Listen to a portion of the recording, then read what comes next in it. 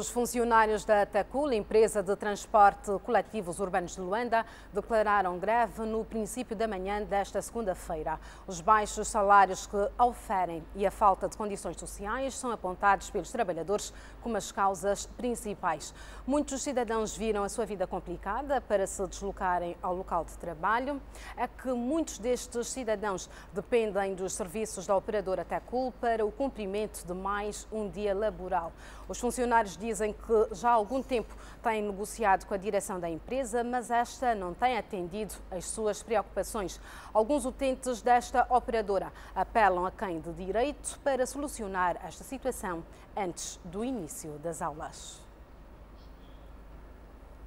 E vamos agora em direto até as instalações da Tecul, onde está o jornalista Leão Vital, que vai conversar então com o diretor-geral da Tecul, Mário Silva, para então nos poder esclarecer se já há consenso entre os trabalhadores e a direção da empresa. Leão, boa tarde.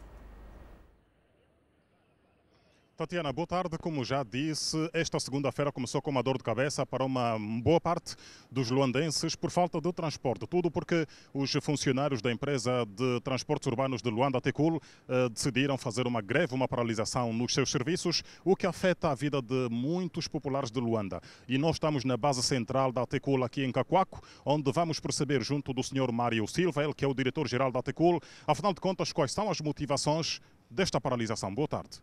Boa tarde. Nós, eh, há sensivelmente três meses, recebemos um caderno reivindicativo proveniente da estrutura sindical da empresa, caderno esse que foi prontamente respondido. Eh, entretanto, aguardávamos por um pronunciamento da parte da estrutura sindical sobre a nossa resposta ao caderno.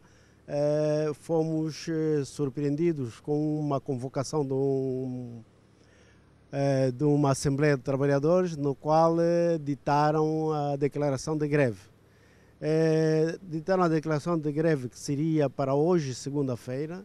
Entretanto, a semana passada entramos em período de negociações e a estrutura sindical, no dia 25 deste mês, fez um comunicado a, aos trabalhadores dizendo que deveriam suspender a greve porque estávamos em conversações. Mas quais são as principais reivindicações? As principais reivindicações são aumento de salários e uh, seguro de saúde e melhorias de condições sociais.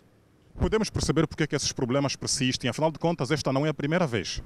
Sim, os problemas persistem, é, é, problemas estão ligados à conjuntura, toda uma conjuntura, de tal forma que é, o assunto está a ser resolvido, não de uma forma particular para a empresa Tecul, mas de uma forma global.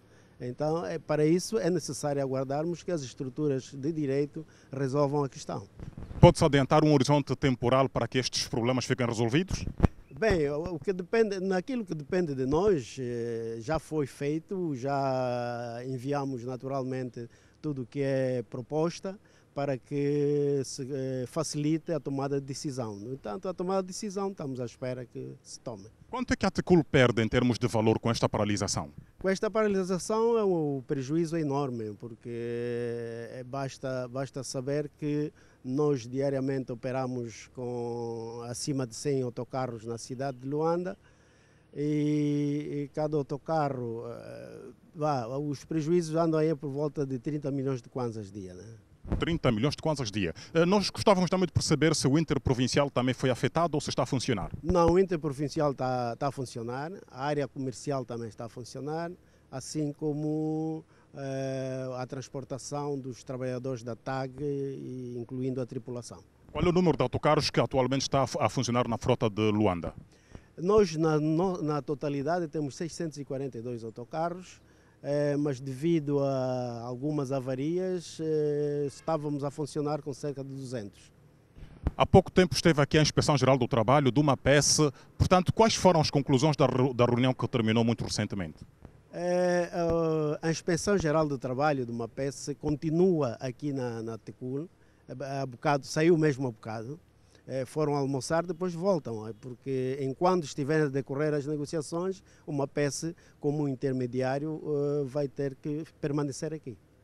Muito obrigado, Sr. Mário Silva, diretor-geral da empresa de transportes urbanos de Luanda, Tecul, que esta segunda-feira viu seus trabalhos paralisados porque os funcionários, reivindicando melhorias nas condições de trabalho e nos salários, paralisaram com os seus trabalhos. Da base central da Tecul em Cacuaco, Silvange e Leão Vital. Boa tarde.